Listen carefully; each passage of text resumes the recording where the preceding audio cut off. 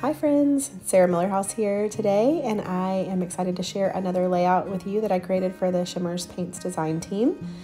I am going to be using the April color kits and part of the April paper kit. Uh, so I started with Foundations White Mixed Media cardstock and I am using a Pear Tree Cut Files stencil. It's just a whole bunch of little circles and texture paste. So I'm using the Ranger Opaque White Texture Paste. It's one of my favorites to use. And I'm spreading that on with a palette knife, but I'm doing it pretty generously. I do use washi tape to tape everything down so it doesn't move on me while I'm working. And um, I let it dry overnight. So this is the next day. I'm gonna be adding color. So that first color I added on is the Vibes Deep Blue Sea from the April color kit and it is gorgeous. Love that blue. So I just, um, that the texture paste had dried overnight and so I added water and then I added the spray and am spreading it around with my paintbrush and moving my paper around and turning it so it gets good, nice, even coverage. And the paintbrush helps me just make sure it doesn't run in places that I don't want it to run. Like I want to keep the top half pretty white. So um, then I'm going to be going and adding the Inklings Me and Blue. So by adding this in, I'm adding a whole bunch of shimmer and shine. And that um, it's a beautiful combination. So here I did uh, sprinkle some on and then spread it with my paintbrush. And now I'm going back and just adding splatters because I kind of want it to pool in places and, and add some dimension to that background. Adding back on a little deep, more deep blue sea because I kind of want it to be splotchy. I don't want it to be like an even one color. I want it to be splotchy, kind of like the ocean. Like when you're looking at the ocean and the sun is shining on it and you're getting shimmer and shine and sparkle. I want all of that to happen. So there, what I did is I opened up that deep blue sea and with my paintbrush just splattered some on so it made it even more kind of splotchy in places. And then this that I'm adding now is going to be the Inklings Ice Sage and that's also from the April color kit.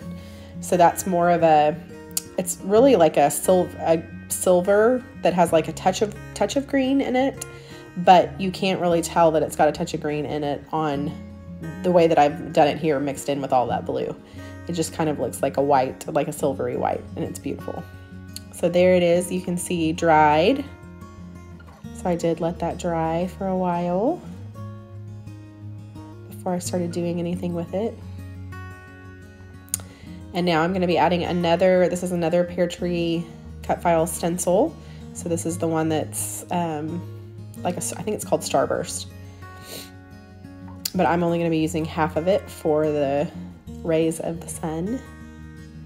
So I am going to use um, my ink blending tool and just a little bit of Distress Oxide to start the rays. So that's going to be on the background. And most of this color is going to be covered up. But I did want there to be some kind of medium there so that when I start spraying on the next layer of color, it has something to blend with. I love there to be variations in color. So this is really easy so far. So just stencil, spreading on some color. I did not go all the way to the edge because I didn't want there to be like a square, didn't want it to look like there was a square edge around that. So um, I did put down this piece of paper and use washi tape to tape off and mask where I do not want that yellow to mix with the blue. And the yellowish orangish color that's beautiful is a Vibes um, and it's called Here Comes the Sun and that is also from the April color kit and then what I'm adding on right now is just from my stash. This is um, Shimmerz Limoncello. So that's just, that was just in my stash and I wanted there to be some kind of splotchy color in the rays of the sun as well. And so I wanted it to be something that had a drastic um, contrast. So it's a very light yellow. And it does make a difference on that final layout. So I pulled that stencil up while it was wet and sat it off to dry. I did that because I didn't want my stencil to be ruined. Otherwise, I would have left it on there to dry. Um, there's no reason that you can't. I just don't like it to sit on my stencil for too long. Okay, so what I'm doing here is I am pulling patterned papers. So that plaid, that blue plaid is from the April paper kits. And then I'm also mixing in papers, pattern papers from the Blooming Wild collection by Paige Evans. That's her most recent collection. So I coordinated the colors that I pulled out of that collection with the papers that I was using from the April color kits.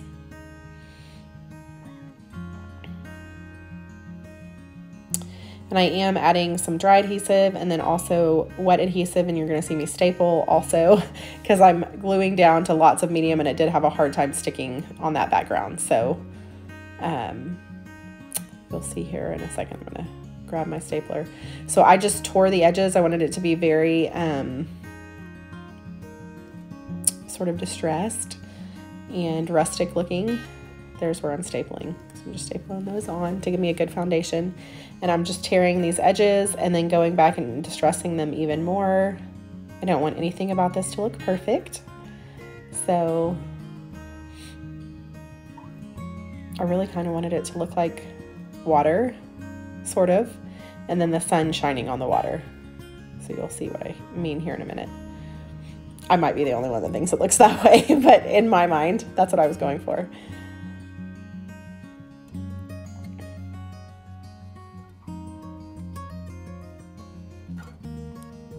The thing that the, the paper does also is it kind of helps cover up where I have that the sun rays and the water are, where they're meeting on the page.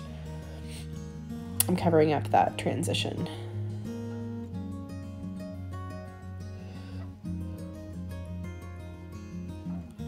This is another, the striped paper. I love the striped paper. This is another paper from the April paper kits or color kits paper collection. And then this last one that I'm adding is also from that paper kits collection.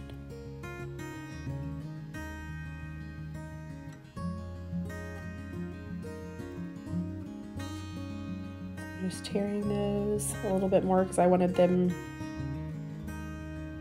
to not totally cover up the layer below it.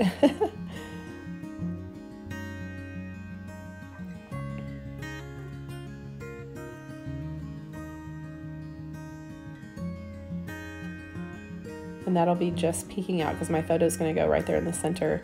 So I did go back. I felt like I had a little bit too much paper and not enough like rough edge. So I went and tore off some more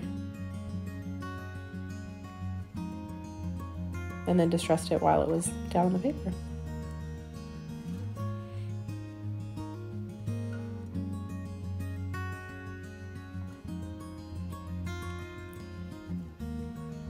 Okay, so now I've pulled out a bunch of things from the Blooming Wild collection and I'm gonna go ahead and back my photo. I'm gonna use a couple of layers of pattern paper to back that photo.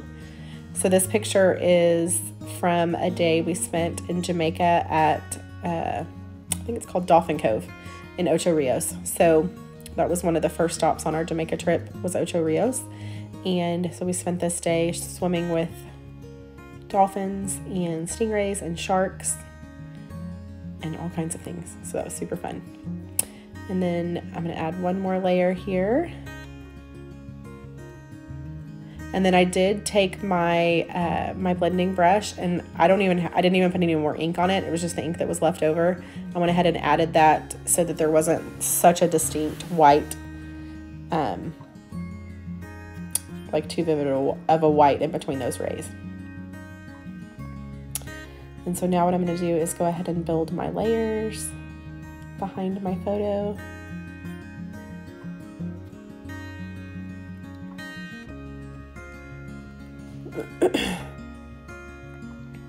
and these are just some of the journaling cards and things from the Blooming Wild collection. And then that's a chipboard frame from the chipboard sheet. And then I'm pulling out a few more things here. Some tags and some little cards because I'm going to build a big cluster. excuse me, sorry. I'm going to build a big cluster of layers behind my photo here in the center. And that little tab says fun times. I thought that was perfect.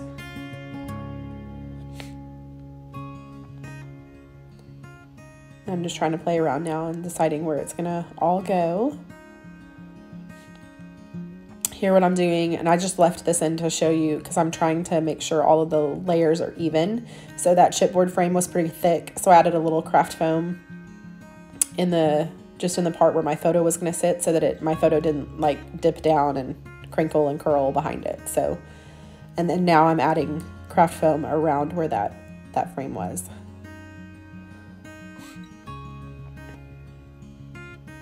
So that all, like when I push on it in the middle, middle of this layout, it's very flat and a very even surface. And then I did tilt my photo to be at the same, at the same angle as the paper.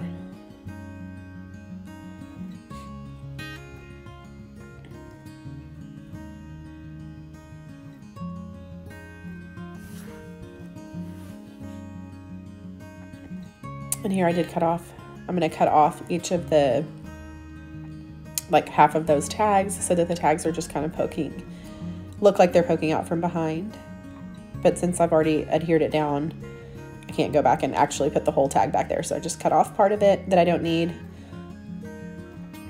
and then add adhesive to it.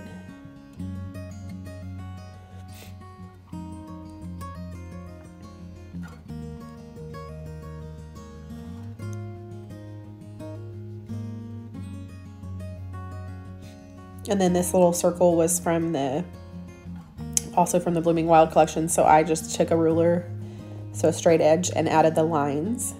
I added orange lines, and then I'm using blue ink to tie in the colors that are on the background. And I'm just journaling about our sweet day, swimming with all of the amazing creatures in Jamaica.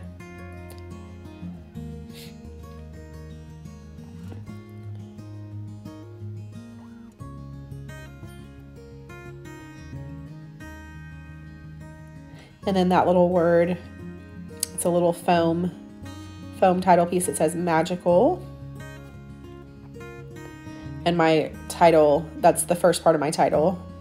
And then I'm gonna add some more foam letters for the rest of the title.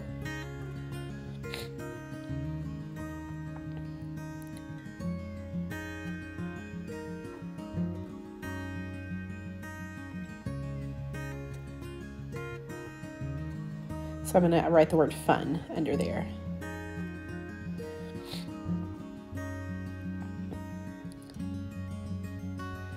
And again, I chose the letters on that on that sheet of letters. I chose the main colors. So like the blue, the yellow, and the pink that I've got on the layout. Those were my that's my main color scheme. So those are the letters that I chose.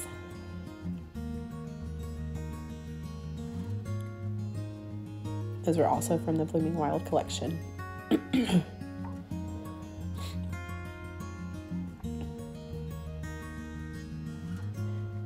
now I'm just going to be adding some embellishments. This is my favorite part. I love adding I love adding all the little details now.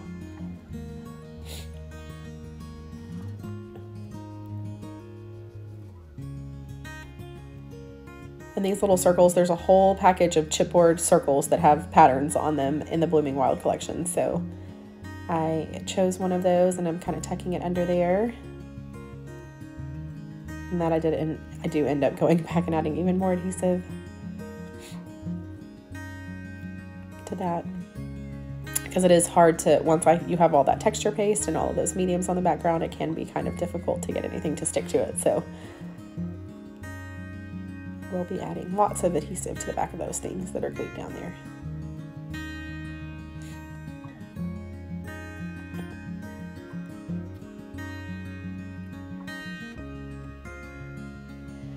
All right, so now what I'm gonna do, I did put a foam, a foam board behind my layout and I'm pulling out some thread and then I'm gonna poke some holes. This is super easy. So I went up under my cluster my photo cluster in the center. So it looks like the thread is coming out from behind it and I'm just adding, and I did that off camera so you can see there, I added just one long line of thread in between each ray of the sun. And now I'm going and adding little bits of thread to each of those tags, coordinating with the colors on the layout.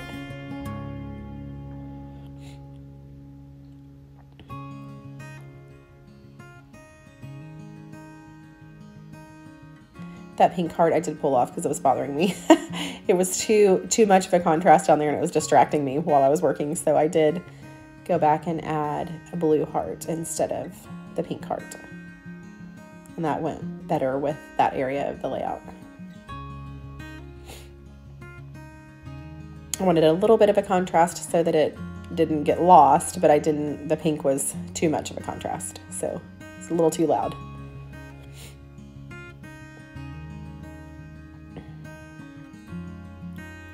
But I did use that pink card. I just put it up there on the corner of my photo.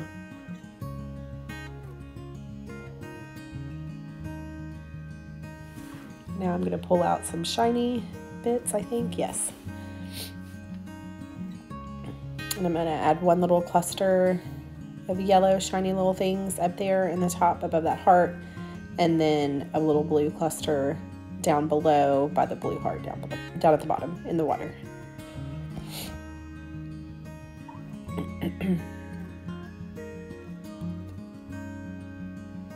and then I'm going to use some pops of color from scrapbook.com just to kind of mix in. This just adds like a little bit more texture. As I've said before, my husband calls this puff paint. Similar, but specifically for paper crafting. And then here's the close-up. So you can see all those details. I hope you've enjoyed watching the process. If you did, you can go ahead and give the video a like, tap the bell for notifications, and I love when you follow along. Any questions you have about anything I did, go ahead and pop them down in the comments and I will answer them.